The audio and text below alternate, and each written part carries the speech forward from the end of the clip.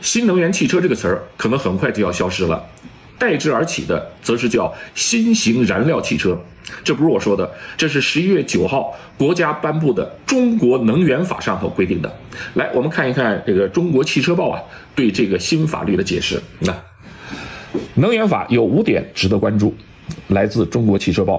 在这部法律当中，“新能源”一词没有见之于能源法的这个法律文本当中，同时，也没有所谓的什么传统能源或者是旧能源啊与之对立对立的一些词。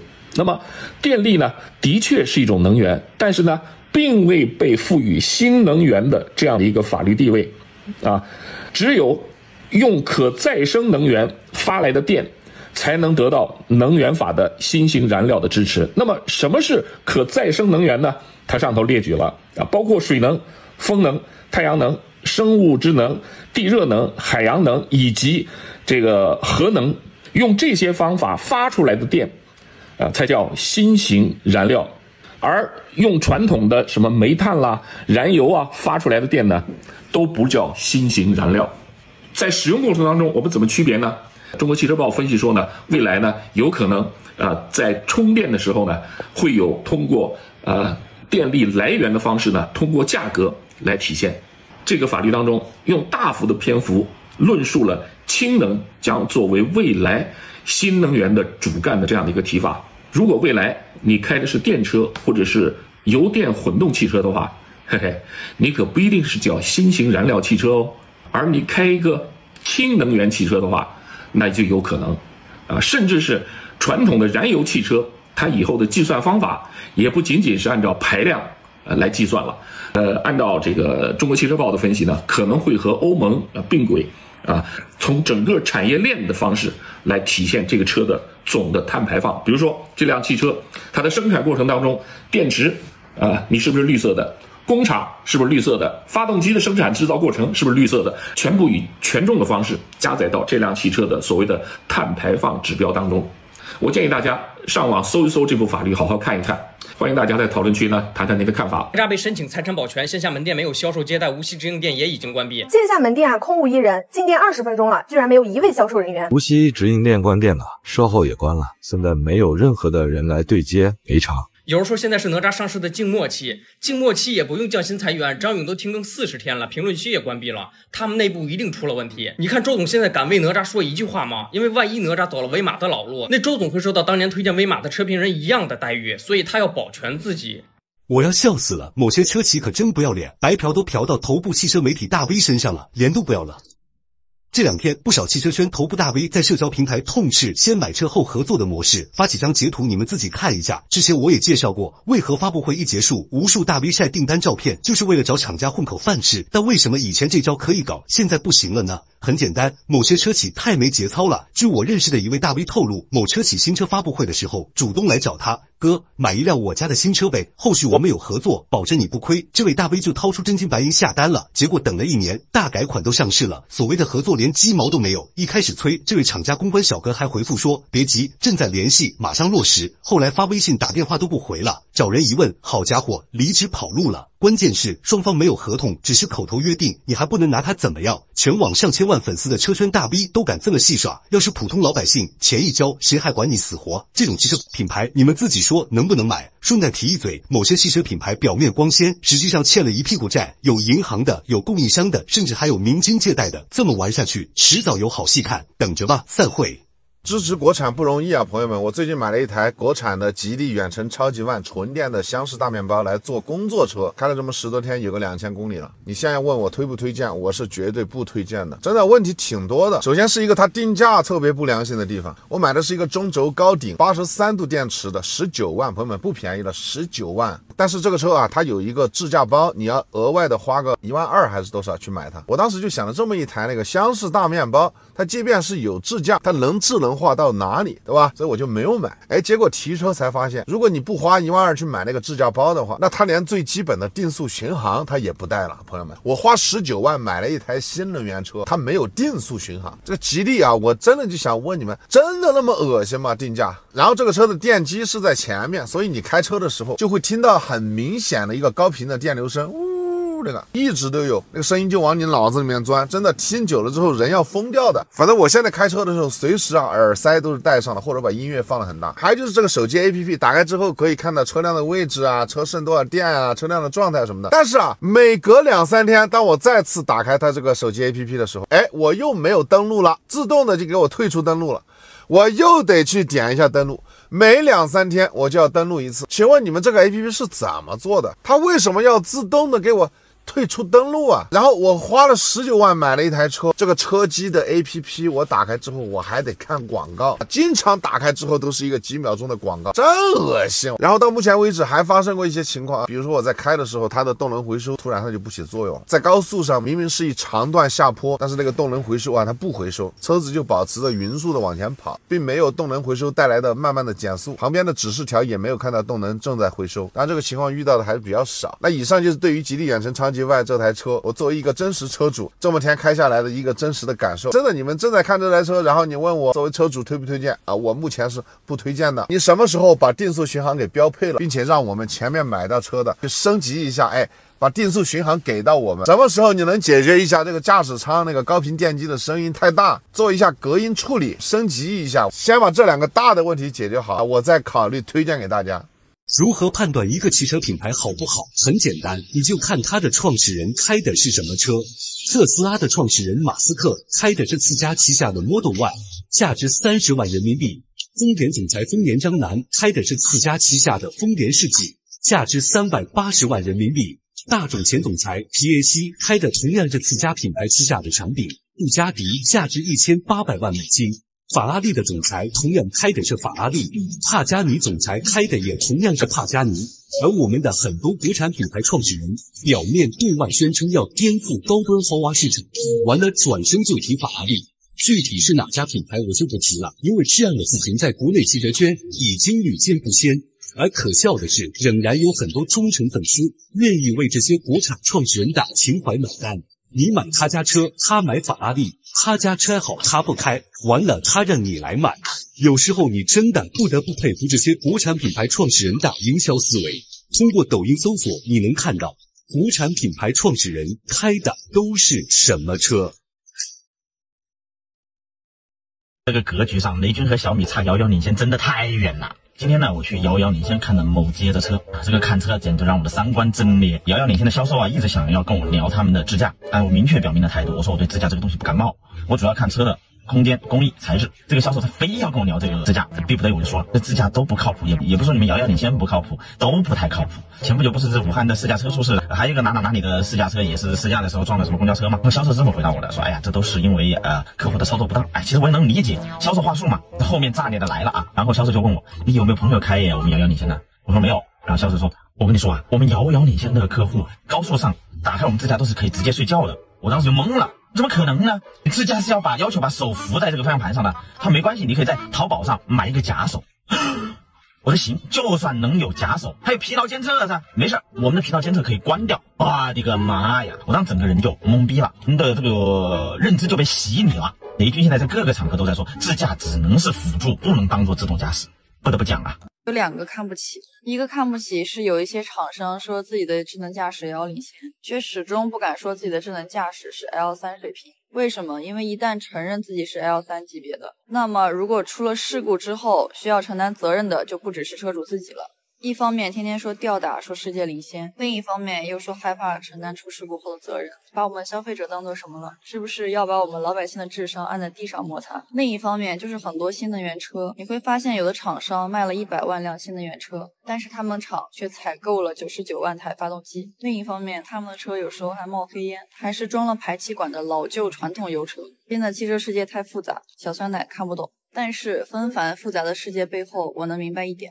我真的很喜欢法拉利，不仅我喜欢，那很多老板企业家也都喜欢，尤其是很多做电车的老板也很喜欢法拉利。但就是这些电车老板们，一边买着油车，一边嘲笑着油车，我也不明白他们为什么要过这种抽象的人生。这两天网上看到理想汽车的创始人理想在给价值三百万的混动法拉利二九六上牌，不管是炒作还是事实，都无可厚非。小米的雷军不也是开法拉利吗？据我所知，很多国产车企的老板都乘坐奔驰迈巴赫。这就像农民不吃自己种的菜，厨师不吃自己烧的鱼，渔民不吃自己养的虾，道理是一样的。我想说的是，现阶段各行各业都存在一种现象：劣币驱逐良币。拼夕夕就是最好的例子。那些注重品质、在乎质量的车企，现在反而是活不下去了。你手里有枪，我手里有枪，咱们讲法律；你手里有刀，我手里有刀，咱们讲规矩。您赤手空拳，我也赤手空拳，咱们讲道理。但是，但是现在的问题是你手里有枪，而我手里只有刀，那么真理永远在你的手上。如果你有枪，我空手，那么你手里拿着的就是我的命。所谓的法律规矩、道义，只有在相互平等的基础之上，才能够说得通。这个世界的本质就是，当金钱站起来说话的时候，真理就会沉默；当权力站起来说话的时候，金钱就会退让三步。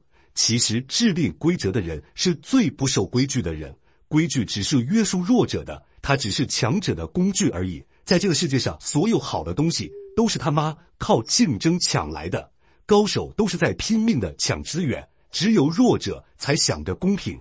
最可悲的现实就是，上层做着最龌龊的事儿，下层说着最高尚的话，形成了极大的反差，才是当下最大的悲哀。于分享价格的车信息，感谢你的关注。好，大家看一下啊。这都是是负债的老赖啊，这些是我服务的一群老赖。然后这个老赖啊，这个老赖负债七千多万。七千万，啊，介绍一下，自己介绍一下。我亏掉了七千万，还进去过小黑屋两年，现在是负债七千万，重新再创业，加油加油。这个负债多少？来介绍一下。是广州林天控股集团董事长，亏掉三个亿，然后负债八千万，但是准备三年上岸。三年能上岸吗？必须的，确定啊，确定的。好，加油！你负债多少？介绍一下。负债一千两百多万。我是中方合众董事长，我是跟某大合作。恒大都恒大，不要某大。对，要不听不懂啊。恒大是吧？啊，准备准备做什么？我现在是在做自媒体加大健康。嗯，准备多久？三年内要还清。三年内还清，别三年了，一年就还清了。对呀，拖后腿，拖后腿。好，一年还清啊。一年还清。好的，好，你负债多少？负债一千三百万，关掉了一千两百多家门店。原来做什么的？原来做什么？阿姨奶茶放出来了。哦，上海阿姨奶茶。上海阿姨奶茶就是那个死贵死贵又不好喝那个奶茶是吧？怪不得你们倒闭。就是倒闭才是对的。现在做什么？现在做大健康。嗯，一年上岸。好，OK。来，这群都是我服务的老赖啊！来这群老赖，加油！我这人说话比较直，他妈现在有些人整天在网络上面哈叫嚣着要把合资车赶出中国市场，我们的国产品牌汽车已经优于他们了，遥领先了，吊打碾压他们了。合资车就是上个世纪的产物，就是诺基亚。就是秤砣啊！这是网络上面经常有这些评论，对不对啊？但是我可以明确的告诉你，如果合资车退出中国市场了，车你都开不起，知道了吧？你都开不起。去年还是前年啊，十几家车企联合起来抵制一家车企，不让它降价，就是说它便宜了，十几家车企联合抵制，不，你不能便宜，搞不搞笑呀？啊，打不打脸呀？一个连食品都造不好的地方，车子就能造好了，就能用心的造好了。如果让他们一家独大，还得了啊啊！没有合资车在这里镇着压着，他们都能上天，价格都能飞上天，明白了吗？合资车和国产车都不能缺少，有国产车压着合资车，合资车呢也会用心造车，也确实便宜。有合资车压着国产车呢，国产车也在用心造车，也不会太高的价格，明白了吗？两者都不能缺一，二缺一都不行，明白了？合资车就算是退出中国市场了，他们在全世界各地任何的地方，除了中国，他们都能生活的很好，都能存活下去。而我们呢，就像是闭关锁国一样，接受不到外面好的东西。你觉得？我们能进步吗？啊！以前常讲，在燃油车时代啊，BBA 车型买得起养不起，现在是国产高端新能源买得起你换不起。工薪家庭的朋友不要去买新能源，我一直劝大家买油车。我一直说新能源是富二代玩的，是人家有钱家庭玩的。其实我觉得有点偏激，但大家听我讲有没有道理啊？如果你只有二十万的预算去买一辆车，我希望你买二十万的油车，你不要去买二十万的电车，因为真正消费二十万电车的人，他应该是有三十万到四十万的消费能力的群体。我为什么这么讲？是因为新能源产品现在它跟以前的燃油车产品完全不一样。燃油车以前啊，你看厂家是七年一换代，老百姓是八年到十年一换车。我说过一个观点，说汽车是消费品赔钱货，换的越勤，你赔的越多；换车周期拉的越长，你赔钱赔的越少。所以我讲，新能源汽车现在厂家鼓励的是你一年两年换次车。很多时候，老百姓消费者你内心经受不住诱惑，你看着新款东西出来，你开着老款新能源车，一看车子开两年破铜烂铁，老轱辘棒子车型的，你难受。所以我说了，买二十万的车，你有二十万的能力去买油车，去买油车，不要去买二十万的电车，因为你消费不起，两年三年之后你换不起。你除非是有三十万、四十万的油车消费能力，你再去看二十万的电车。我是在给新能源打广告吗，兄弟？我是在告诉你，新能源汽车广告牛吹得太高了。新能源汽车不太适合那些普通的工薪家庭老百姓。我们不要说自己没有消费能力，借着钱贷着款去买二十万的新能源汽车。我跟你讲，两三年之后你会非常难受。电池技术有突破，你的新能源汽车已经不新了，老能源了。两年之后意味着你还款还欠了一屁股钱，结果发现把这个电车卖掉，两年之后这车子不值钱了，赔了十几万。而且我再次提醒大家，国家对于新能源汽车的这些鼓励。这些政策、这些特权正在不断的收紧。其实现在新能源汽车它是有特权的，限牌城市它是可以不用限牌的。国道的养路费呀，包括到很多的税费呀，那些钱都加到汽油里面去了。包括到以前我们说购置税不断的退坡，我们以前常讲在燃油车时代啊，BBA 车型买得起养不起，现在是国产高端新能源买得起你换不起，同样是一种尴尬。来，听我说，中国有家造车新势力，今年前三季度每个季度的亏损都超过了五十亿，是五十亿。大家知道这是什么概念吗？就是平均每一天，这家企业就要亏损超过五千四百万，是每一天啊，朋友们，每一天就要亏损超过五千四百万，两天就亏掉一个小目标，就是拿着百元大钞来烧，恐怕一天二十四小时也烧不完这么多吧。而更为恐怖的是，截止今年的九月三十日，它的总债务已经高达八百七十九亿，八百七十九亿啊，朋友们，这对于绝大部分的企业而言都是一个天文数字。而它目前的总资产仅仅只有一千零三十九亿，也就是说。它的一个负债率已经接近百分之九十，最为关键的是，他现在手中的现金已经不多了。根据财报显示，他目前的总现金是四百二十一点七二亿，甚至还还不了他一半的债务。那么你又是否知道，他今年前三季度在市场销售与管理费用方面花了多少钱吗？一百零八点六三亿，仅仅是刚刚过去的第三季度，他就花了超过四十亿的市场销售与管理费用。而这样一个。庞大的一个营销费用换来了多少的交付成绩呢？不到六万两千辆，平均到每一辆车达到了六点六万元以上。我实在是想不明白，是怎样的一家车企，怎样的一个创业企业，才能够完成每个季度亏损超过五十亿这样的壮举？在去年，它的亏损已经超过了两百亿，不出意外的话，今年的亏损同样会超过两百亿。我想请问一下大家，这样的一家企业是否还有未来？某一线品牌的新势力啊，这两年处理这类问题，七十多台车。